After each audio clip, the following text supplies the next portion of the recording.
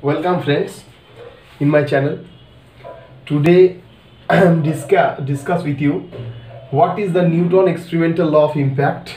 We know what is impact.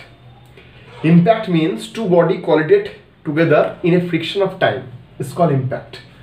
So the mathematical formula is the impact I equals to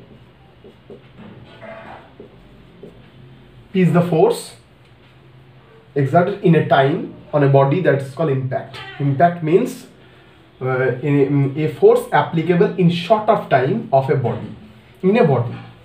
Newton stated at per, as per impact his law he said that two body two body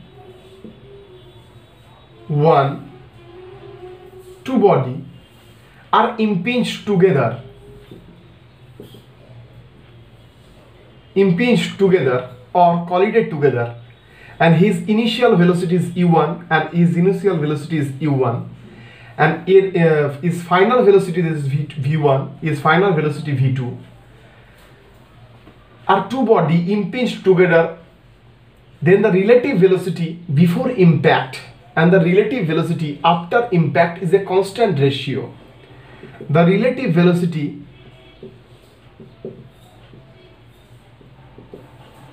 before impact u2 minus u1 and the relative velocity u1 minus u2 u2 minus 1 same. Relative velocity after impact v1 minus v2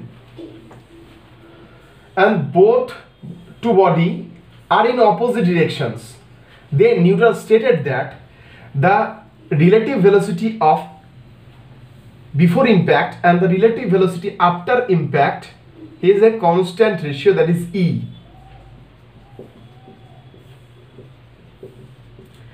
Two body are came from to the opposite directions so we can take a negative sign.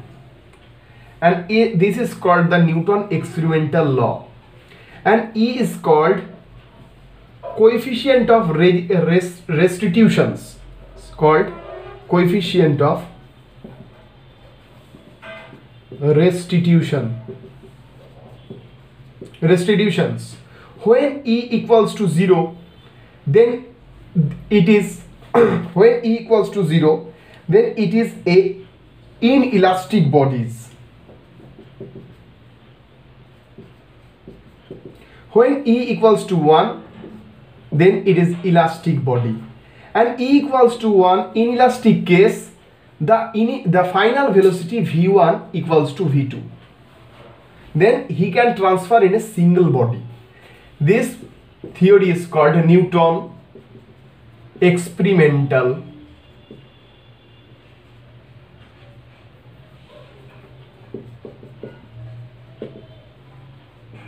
Law of impact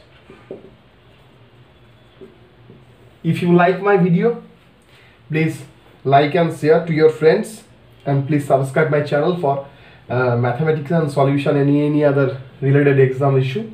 Thank you very much for watching me. Thank you